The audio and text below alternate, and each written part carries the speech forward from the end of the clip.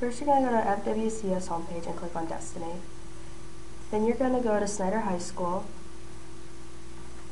and then you're going to click on World Book Encyclopedia. You can click on Kids, and Kids is going to tell you about all different kind of kids books. Um, you can go to the search and then search a book, or you can go down there and there's pictures, art, a dictionary, and stuff like that. Or you can click on the arrows and it'll tell you other specific topics.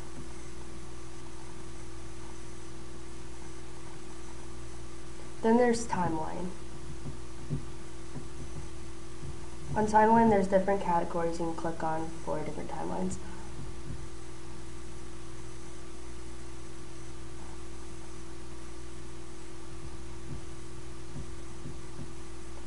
This one, for example, shows you all the what it, it looks like. It'll give you information about that topic.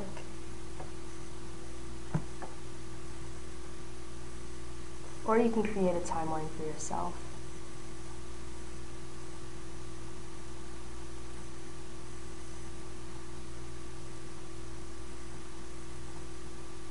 Next is student.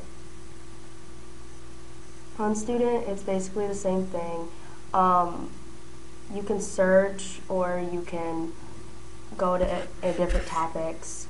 Um, we're going to type in animals, for example.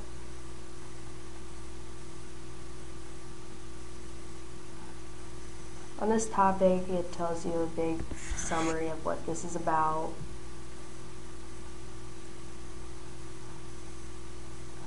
It'll give you information about animals and everything about it.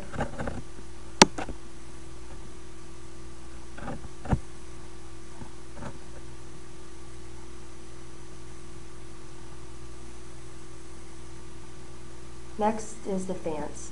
This will give you more complex books. Um, you can search in oceans, for example. And this will tell you about the oceans everything about it. Um, again, it gives you a summary. Um, this is more an advanced um, site.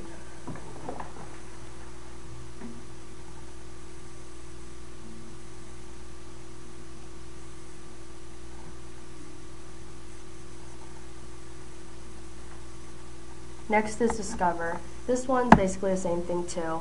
Um, you can dis discover all these different categories um, this one, for example, will tell you about this airplane model. And it'll give you information. And again, if uh, these aren't what you're looking for, you can go to the search bar and search it. And our last one is Spanish. Um, this one's the same thing too. Uh, it has all your different categories like animals and stuff like that. Um, or if there's other you can look for, you can find, you can always search it too. And basically all these websites are the same, just have a little bit of different things to it.